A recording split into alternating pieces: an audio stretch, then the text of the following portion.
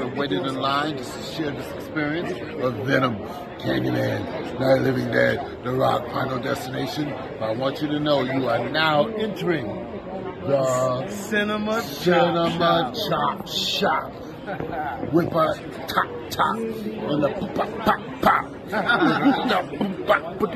Boom boom bop bop bop bop. You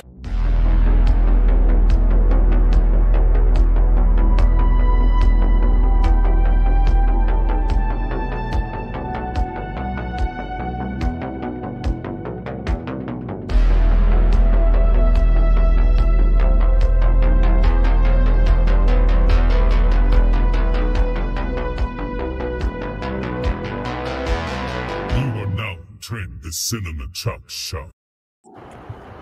What's going on, everybody? It's Davey from the 80s, and you're now entering the cinema chop shop. So park your ass right there. Right there, don't forget to hit the like, the share, and the subscribe button. And you already know what we're here to do today. We're here to talk about a little bit of horror news, shall we?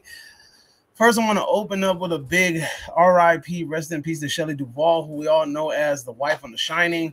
Um, she passed away today in her sleep due to complications with diabetes. Her spouse said that it's been a very, very rigorous battle, and she's been in a lot of pain and suffering.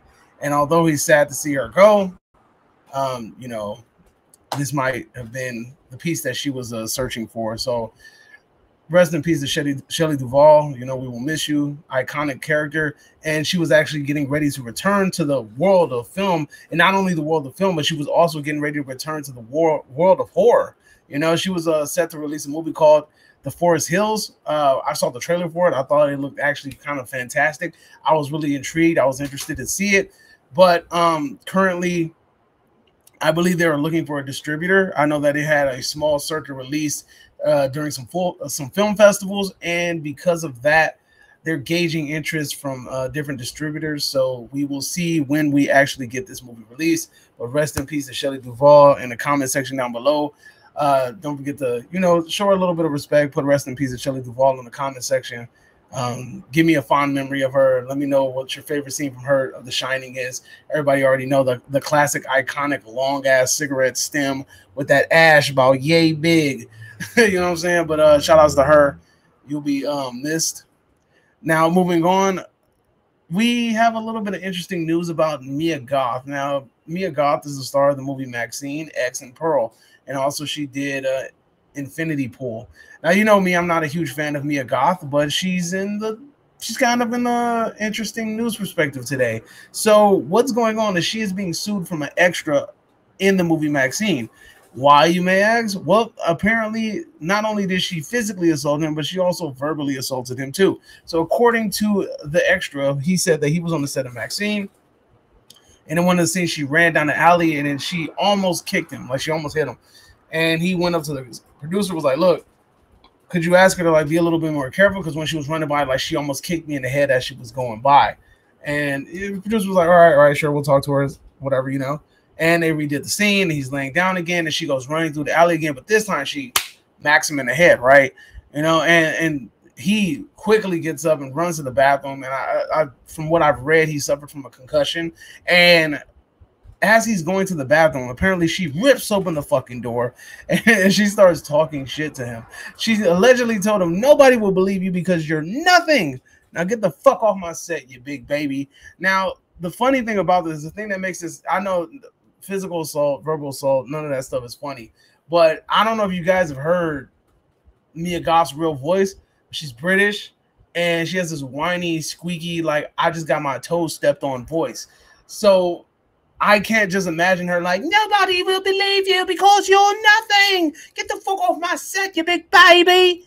Like that's how she sounds. And I don't know, she just sounds like somebody that's like deep in the boroughs of Britain that have been doing coke and they got some fucked up ass teeth. And they just, I don't know, man. Like I just, I just can't imagine her saying this shit. But the, truth of the matter is she's been she's been praised a lot lately. And sometimes these actresses and actors can let that shit go to their head. Now, I'm not saying that the man, the extras being honest, I can't say that the extra is, you know, telling 100% the truth, But at the same time, we kind of don't know who's in who who did what here. But we're just going off the hearsay. But apparently, this is what he's suing. He must have some sort of evidence against her if he's going to the lengths that he's going. And hey, we will see what becomes of this. But uh, what do you guys think? Do you guys think Mia Goth physically and emotionally assaulted this man? I think she might have probably kicked him in the head, maybe running through. Uh, was it on purpose? Hey, who freaking knows? But I don't. We got to find out if Mia Goth is a, is, is a method actor. If she's a method actor, then that makes the possibility of this happening maybe a little bit more realistic too. But this wouldn't be the first time that you hear about these actors and actresses letting the role go to their head and then getting like all pumped up and then just extra out and letting it go to them and, and being really ridiculous to not only like extras but also like producers, cameramen, and things like that. So I don't know. I mean, I, I think it's I think there's a possibility behind this, and especially if he settles, if she settles, I, I think that there's a possibility that we're going to see some sort of settlement. Maybe she was doing the coke that she was playing in this movie. I mean, she does fit the role of a cokehead a little bit too perfectly, in my opinion. But you know, that's just here. That's neither here nor there. Moving on to the next one, we got the Toxic Mother Freaking Avenger. Now, a lot of you guys have heard about the Toxic Avenger. Has some really good actors and actresses behind it. I mean, one of the most notable characters in the movie is probably Peter Dinklage, uh, and I'm just I'm surprised, but not surprised at the same time. When I first heard about Toxic Avenger and then this movie getting a theatrical release, I'm like, damn, they were really able to get this movie a theatrical release. Like I, they really remade it. They have some really good actors and actresses behind it. Uh, I'm I'm surprised, you know, because when you hear Troma or you know uh, Troma, when you think about Troma, you think of super gritty, low budget movies, never really released in films, you know, and to have their property getting this kind of treatment, I thought it was a it was a pleasant surprise, but also I was here for it. But now um, news has come out that there's producers and executives and, and people in the business saying that this movie is unreleasable. They have no faith in it. They don't think that it's going to make any money. They think that if they send it to theaters, it's going to bomb, and they don't want to back it. So because of this, um, the and also the movie didn't do overly well at screeners it has a very niche audience, has a small market audience. Not too many people know about the Toxic Avenger, and I can see how that may not appeal to everyone. You're the main reason for making a movie most of the time is because you want they the studios want to make money. The reason they back these projects because they want to make money. But to say like this movie is like unreleasable is kind of crazy. Um, I think that they should sell the rights to Shudder and then let Shudder release the damn movie because let's let's be honest here. Shudder has released what three damn movies in in theaters. I, I mean, it, it, did in violent in a violent nature. It also did Late Night with the Devil, and I think there's another one in there floating around somewhere.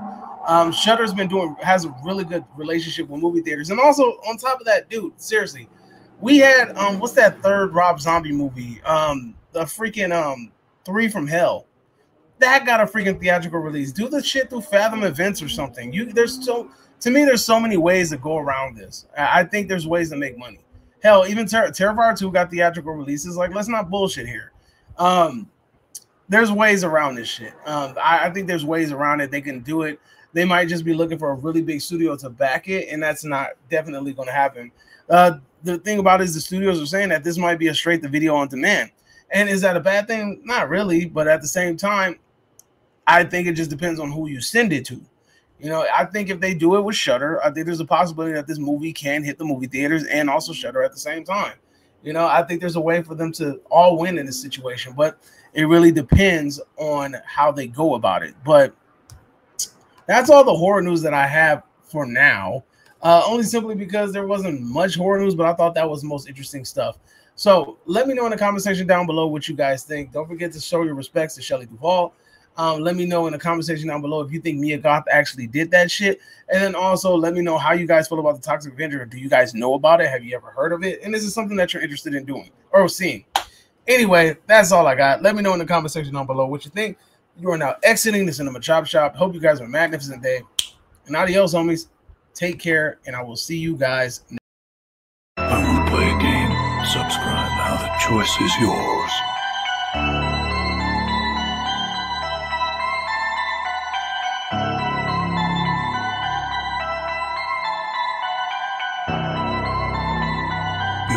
Exiting the cinema shop.